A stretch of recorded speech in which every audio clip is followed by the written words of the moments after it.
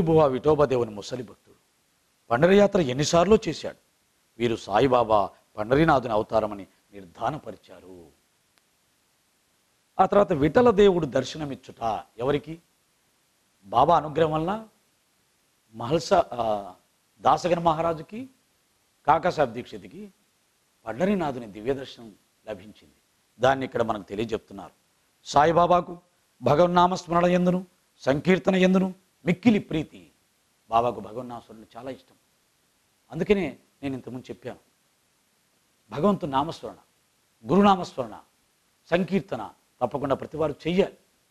రాకపోతే నేర్చుకోవాలి. ఇది తప్పనిసరి సాధన. భక్తిలో ఒక మెట్టు ఎక్కడానికి ఇది చాలా ఉపకరిస్తుంది. కనుక నామస్మరణ సంకీర్తన ప్రతి భక్తుడు చేయాలి పారాయణంతో పాటు సత్సంగాలతో పాటు వారెల్లప్పుడూ అల్లా మాలిక్ అనగా అల్లాయే యజమాని అని అనుచుండేవారు. ఏడు రాత్రింబవళ్ళు భగవన్నామస్మరణ చేయిస్తూ ఉండేవారు. ఇది నామసప్తాహం అంటారు. ఎంత కష్టమండి. ఏడు రోజులు రాత్రింబగళ్ళు నామసప్తాహం చేయడం. అది ఆనాడు బాబా చేయించాడు. ఈనాడు కూడా సాయి భక్తులు చాలామంది ఈ నామసప్తాన్ని చేస్తున్నారు. అసాధ్యాన్ని సుసాధ్యం చేశారు సద్గురు సాయినాథుల వారు. అనేక మంది భక్తులు కూర్చొని బ్యాచ్లు బ్యాచ్లుగా కూర్చొని ఈ నామసప్తాన్ని వారం రోజులు కంటిన్యూ చేస్తుంటారు. అనేకమైన మందిరాల్లో జరుగుతుంటుంది. కొంతమంది ఇళ్ళ ఇళ్ళలో పెట్టించుకుంటూ ఉంటారు. దీన్ని చాలామంది వృత్తిగా తీసుకొని భగవన్నాసరణ చేస్తూ వాళ్ళ యొక్క కుటుంబ పోషణ కూడా చేసుకుంటూ ఉంటారు. ఇది కొంతమంది భక్తులు జీవించ జీవించటానికి జీవనాధారంగా పనికొస్తుంది. భక్తి నామ సంకీర్తన అది ఒకటి. ఈ కార్యక్రమాలు చేసుకోవచ్చు. సంకీర్తన పెట్టించుకోవచ్చు. డబ్బులు ఇచ్చి తప్పులేదు. కానీ సొంతంగా కూడా నామస్మరణ చేసే సాధన చేయాలి ఎవరైతే సొంతంగా సంకీర్తన చేస్తారో వారు సొంతంగా అనుభూతిని పొందుతారు. వేరే వాళ్ళు అన్నం తింటే మన ఆకలి తీరదు. డబ్బులు తీసుకొని వాళ్ళు సంకీర్తన చేస్తే పుణ్యం పురుషార్థం అనుభూతి వాళ్ళకే. వినడం వల్ల మనకు కూడా కొంత వస్తుంది. డబ్బులు ఖర్చు పెట్టాం కాబట్టి దానికి కొంత వస్తుంది. కానీ అది భక్తిని కలిగించదు. భక్తి సొంతంగా మనం చేసినప్పుడే లోపట అనుభూతి కలుగుతుంది. కనుక నామ సంకీర్తన సొంతంగా మనం కూడా చేయడం నేర్చుకోవాలి. ఆ వారం రోజులు అయిపోయాక వాళ్ళు వెళ్ళిపోతే తర్వాత పరిస్థితి ఏంటి? ఇంకా మూడు వందల యాభై రోజులు మనం సంకీర్తన చేయొద్దా? చేయాలి కదా.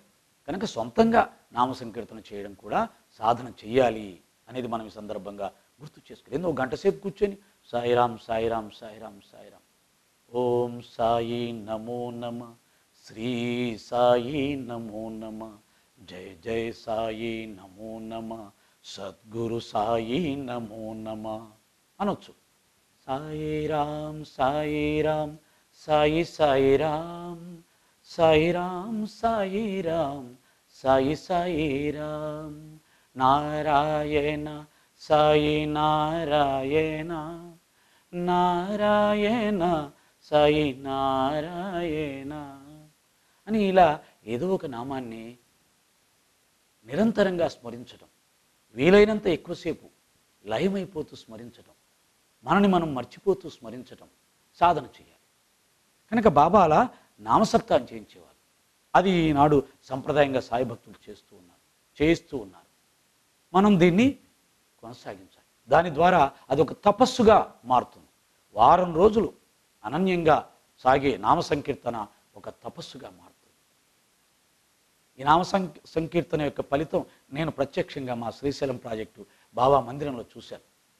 బాబా మందిరంలో ఒకసారి దొంగతనం జరిగింది. బాబాగారి వెండి సింహాసనం వెండి గొడుగులు వెండి కుందులు దొంగలు పడి దోచుకెళ్ళారు ఆ కమిటీ మెంబర్స్కి ఎందుకో అన్ని ప్రయత్నాలు చేశాక నామ సంకీర్తన పెట్టించాలనిపించింది. పిలిపించి భక్తుల్ని నామ సంకీర్తన మొదలుపెట్టారు. ఉదయం ఆరు గంటలకు నామ సంకీర్తన మొదలు పెడితే పది గంటలకు పోయిన వెండి వస్తువులన్నీ కూడా దొరికాయని పోలీస్ స్టేషన్ నుంచి ఫోన్ వచ్చింది. అది నామ సంకీర్తన యొక్క ప్రభావం. ఎవరు చేసినా సంకీర్తనకు శక్తి ఉంటుంది. కానీ మనం చేస్తే మన అంతరంగం శుద్ధి అవుతుంది. ఆత్మానుభూతి అనుభవంలోకి వస్తుంది. కనుక నామ సంకీర్తన సాయి భక్తులకు చాలా ముఖ్యమైన సాధన. బాబా ఒకప్పుడు దాసగన మహారాజును నామసప్తాహం చేయమని అన్నారు. సప్తాహం ముగినాడు. విఠల దర్శనం కలుగుతుందని వాగ్దానం ఇస్తే నేను నామసప్తాహం చేస్తాను బాబా అని దాసగనం జవాబిచ్చాడు.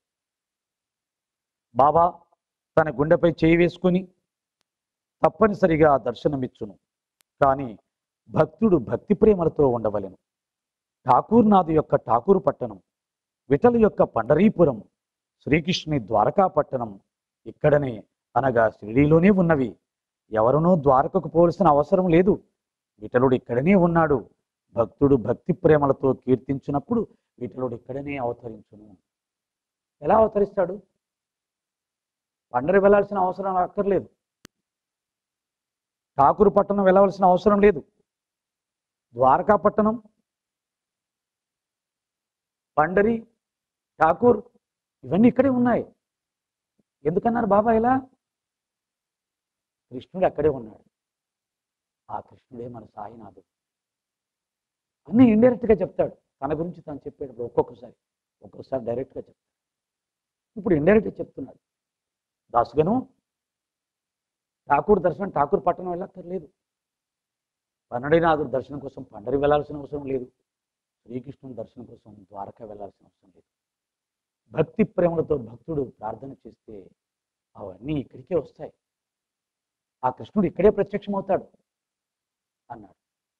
కారణం ఇప్పుడు ఆ ద్వారక ఆ పండరి ఆ ఠాకూర్ పట్టణం అవన్నీ ఈ షిరిడి అయి ఉంది.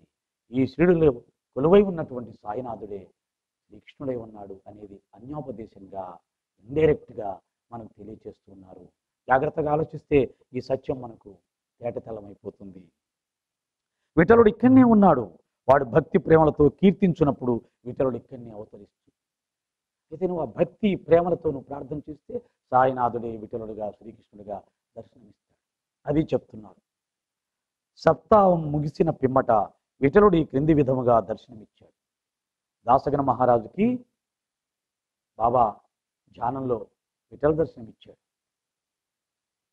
నామసత్వం అయిపోయిన తర్వాత. అలాగే ఒకసారి కాకసార దీక్షిత్ కూడా స్నానం చేసి ధ్యానం చేస్తూ ఉండగా విఠల దర్శనమైంది. అదే ఇక్కడ చెప్తున్నాడు. స్నానానంతరము ఒకసారి కాకసాబ్ దీక్షిత్తు ధ్యానంలో మునిగినప్పుడు విఠలుడు వారికి కనిపించాడు. కాక మధ్యాహ్న ఆరతి కొరకు బాబా వద్దకు పోగా తేట తెల్లముగా కాకాన బావిలా ఇలా అడుగుతున్నారు. విఠల్ పాటీలు వచ్చినాడా? నీవు వానిని చూచితివా? వాడు మిక్కిలి పారుబోతూ వానిని దృఢముగా పట్టుకునుము. ఏమాత్రం అజాగ్రత్తగా ఉన్నను తప్పించుకొని పారిపోవును. దీంట్లో ఉద్దేశం ఏంటంటే ఇతరుడు దర్శనమిస్తాడు. భగవంతుడు ఒక్కోసారి భక్తులు దర్శనమిస్తాడు. పూర్వజన్మ సుకృతం వల్ల వారి భక్తి కారణంగా. కానీ అది శాశ్వతంగా ఉండదు. తాత్కాలికంగా అలా తలుక్కున మెరిసి మాయమైపోతుంది. కొంతమంది కళలో దర్శనమిస్తాడు. కళలో ఇచ్చిన దర్శనం లేక ఈలలో ప్రత్యక్షంగా ఇచ్చిన దర్శనం కూడా క్షణికమే. మరి శాశ్వత దర్శనం కావాలంటే మనం శాశ్వతంగా అనన్యంగా భక్తితో బాబాను స్మరించాలి ప్రపంచ విషయవాసులన్నింటినీ వదిలేసి సంసార బంధాలన్నింటినీ కూడా మనసులోని రావినివ్వకుండా అనన్యంగా సాయినాథుని దివ్య పదబద్ధం ధ్యానించగలిగితే ఒక్క క్షణం కూడా అసిధారావ్రతంలాగా నూనె ఇలా కిందికి వంచుతే ఎలా గ్యాప్ లేకుండా పడుతుందో అలాగా అనన్యంగా భగవన్నామస్మరణ ఎవరైతే చేస్తారో వారికి భగవద్ దర్శనం అనన్యంగా శాశ్వతంగా లభిస్తుంది. ఒక్క క్షణం మనసు అలా పక్కకు పోయింది అంటే ప్రపంచం కనిపిస్తుంది. పాండ్రంగడు సాయినాథుడు కనపడు నువ్వు ఎంత సమయం మనసును పక్కకు పంపిస్తే అంత సమయం భగవంతుడు గురువు కనపడు ఇదే దీంట్లో ఉన్నటువంటి బాబా గారి సందేశం. ఒక అర్థం ఇలా మనం ముఖం చూసుకుంటూ ఉంటే నా ముఖం నాకు కనపడాలన్నా కనురెప్ప పక్కకు పోకుండా ఇలా చూస్తేనే నా ముఖం కనిపిస్తుంది. ఇలా పక్క కన్నానా? నా ముఖం నాకు కనపడదు. అలాగా భగవంతుడు గురువు కూడా అంతే. నీ దృష్టి నీ మనసు ఎంతసేపు ఆయన మీద ఉంటే అంతసేపు ఆయన దర్శనం లభిస్తుంది. ఎంతసేపు దాన్ని నువ్వు పక్కకు మళ్ళిస్తే అంతసేపు ఆయన దర్శనం కనిపిస్తుంది. మరి ఆయన దర్శనం ఎక్కువసేపు కావాలా తక్కువసేపు కావాలా అనేది మనమే నిర్ణయం చేసుకోవాలి. లక్ష రూపాయలు కావాలా కోటి రూపాయలు కావాలంటే మాత్రం కోటే కావాలంట కానీ ఎక్కువసేపు గురుదర్శనం కావాలా? కొద్దిసేపు చాలా అంటే చాలామంది కొద్దిసేపునే సెలెక్ట్ చేసుకుంటున్నాం. కావాలని అనం ఎక్కువసేపు బాబానే కావాలంటాం కానీ మన సంస్కారాలు ఈ మాయ ప్రభావం వల్ల ఎక్కువసేపు ప్రపంచ విషయాలనే చూస్తాం. వాటినే ఎక్కువ ఇష్టపడతాం వాటి కోసమే కింద పడి మోకాలు చిప్పలు పగిలినప్పుడు మళ్ళా బాబా దగ్గరికి వచ్చి బాబా లెంపలేసుకుంటున్నాం ఇంకెప్పుడు వాటిని ఆశించం నీ దగ్గరే శాశ్వతంగా ఉంటాం ఈ ఒక్కసారి మా సమస్య తెచ్చు బాబా అంటాం. ఆయన సమస్య తీర్చిన తర్వాత హాయిగా మళ్ళీ ఒంట్లోకి బలం వచ్చిన తర్వాత మనసుకు బలం వచ్చిన తర్వాత మళ్ళీ ఆయన్ని మర్చిపోయి మళ్ళా లౌకికంగా వెళ్ళిపోతాం. ఇది మానవుడి యొక్క చెంచల స్వభావానికి నిదర్శనం. కనుక ఆ చెంచల స్వభావం విడిచిపెట్టాలి. శాశ్వతంగా బాబాని పట్టుకోగలిగారు వారు ధన్యులు.